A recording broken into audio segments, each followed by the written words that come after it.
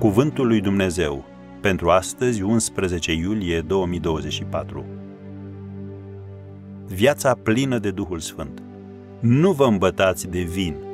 Aceasta este destrăbălare. Din potrivă, fiți plini de Duh.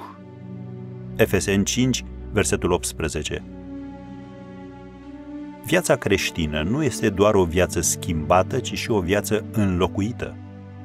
Din momentul convertirii, noi îi dăm lui Dumnezeu vechea noastră viață, iar El ne dă o viață nouă în locul ei.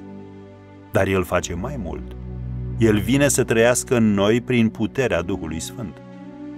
Apostolul Pavel a subliniat contrastul dintre a fi beat de vin și a fi plin de Duhul Sfânt. Primul element te face să-ți pierzi controlul, pe când celălalt te ajută să fii în control.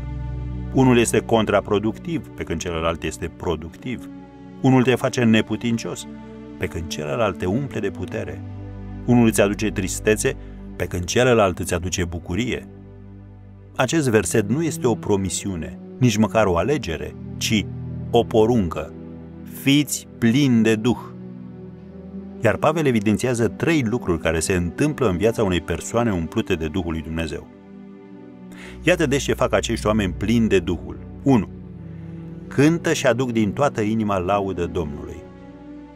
Această stare nu este indusă de circumstanțe, ci apare în ciuda lor. Biblia ne spune în Faptele Apostolilor, capitolul 16, de la versetul 25, că pe la miezul nopții, Pavel și Sila se rugau și cântau cântări de laudă lui Dumnezeu. Îndată s-au deschis toate ușile și s-au dezlegat legăturile fiecăruia. Am încheiat citatul. Lauda adusă lui Dumnezeu poate deschide uși și poate rupe lanțuri. Ce mai fac acești oameni plini de Duhul? Mulțumesc totdeauna lui Dumnezeu Tatăl pentru toate lucrurile, cum scrie în Efeseni 5, versetul 20. Și oamenii plini de Duhul Sfânt au necazuri ca toți ceilalți. Dar ei nu se concentrează asupra necazurilor lor, ci își numără binecuvântările și rămân pozitivi, optimiști și recunoscători.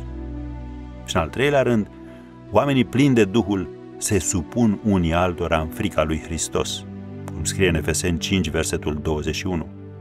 Oamenii plini de Duhul Sfânt sunt preocupați de ceilalți. Ei știu că ceea ce Dumnezeu face posibil pentru altcineva, va face posibil și pentru ei. Vezi Efeseni 6, versetul 8. Așadar, fii plin de Duhul Sfânt.